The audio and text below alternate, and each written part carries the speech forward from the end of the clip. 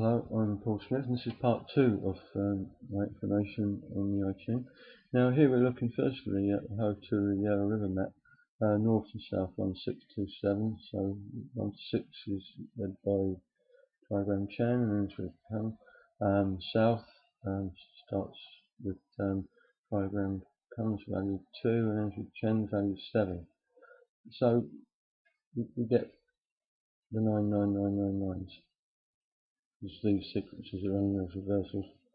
Now secondly, we look at the well and we see that the values are given as per the 1, 2, 3, 4, 5, 6, 7, 8 with a central 9. Now we find that 9 has a special quality and if we add it to any of the values we always get um, the same value. So if we add um, 9 to 6 um, we get 15, 24, etc. And if we add 9 to 3, uh, 12, um, 1. So if we cross any of those overs over again, we're always getting 9s again. Now um, the well is um, on the I Ching uh, Wilhelm Baynes edition on page um, 631 and um, the pattern of the well matches the Bagua in the um, family or the early heaven sequence of trigrams and um, so the two go together. Now when we move on and we create the 8 times 8 squares within the Ho Tu we get a, a sequence run which is, is basically uh, plus 5s except 5 to get that in. But, but anyway, we get four, four um, 8 times 8 squares, 64 hexagrams on the outside. And they, because they're symmetrical in the binary uh, and symmetrical in the integer, you can also create a fifth central square. So the, the outer directions um, create a fifth element. Um, the fifth element was something that, that was um, left out of modern science but appears in, in Bonpa Chinese and Buddhist Hindu text. So anyway, if we talk about the Ho Tu being um, very similar in the um, five to um,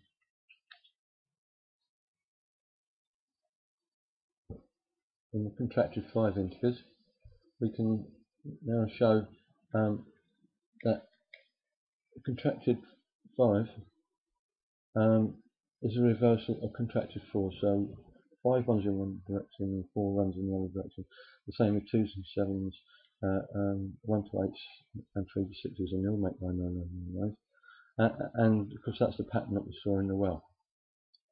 So only um, one to eight integer values equal nines in the opposites of, of both number uh, and the binary images in the diagrams.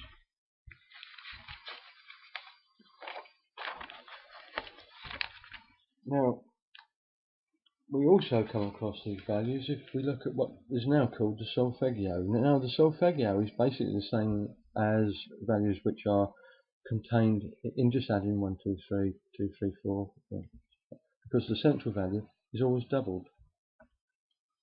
So, in, in the doubling of the central value,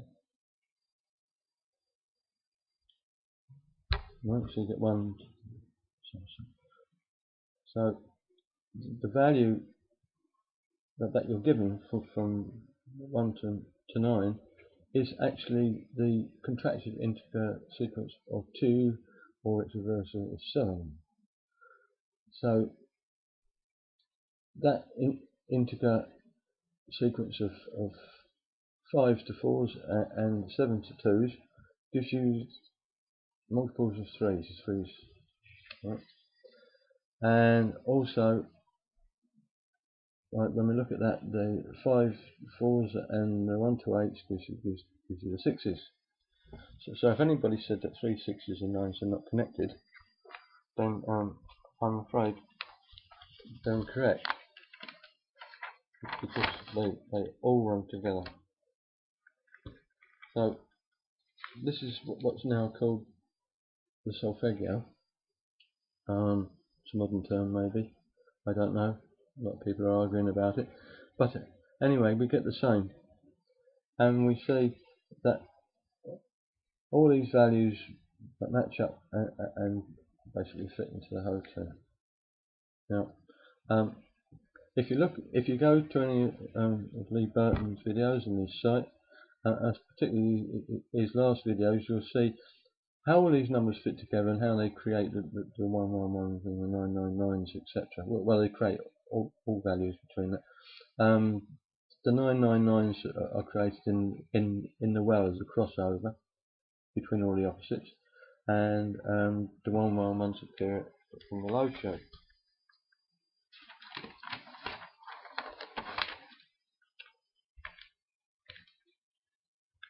So if we go back to the 9 times 9 square that I showed you for the trigrams in the Lo Shu, then it all make 90, then you, are contracting because you're contracted in, integer values here um, as as they cross over. Right, um, make complete magic squares. I've given you all the values here. Now, if we look at the totals of each one of those lines and we add them together, we'll find that you constantly get two, three, I mean four, three, two, zero, and the central value of five is um, two, one, six, zero. So four, three, two, zero, value ten. Now, if we were to add those together in a different way, because what we're actually doing is when I say right um 1 to 9 is 10 if you go 19 to 1 is 20 but if you go 11 uh, to 19 it's it's it's 30 so in another way it, it adds up to another value that we've been seeing a great deal within the mass which is 4860 and now as somebody else has been dealing with that um, maybe you can look through various sites and you can find the workings there. Now basically what we've got in in these workings is, is 4320 uh, plus a central value of 5 which is 2160 which gives you the the values that again appear in the Lo Shu which of course make what is now called values of precession. Uh, 25, 1,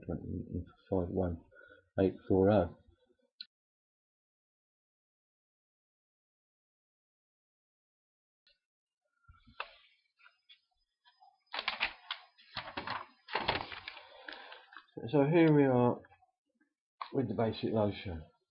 And this is some of the patterns that Lee was dealing with in his last video because it's all plus fives.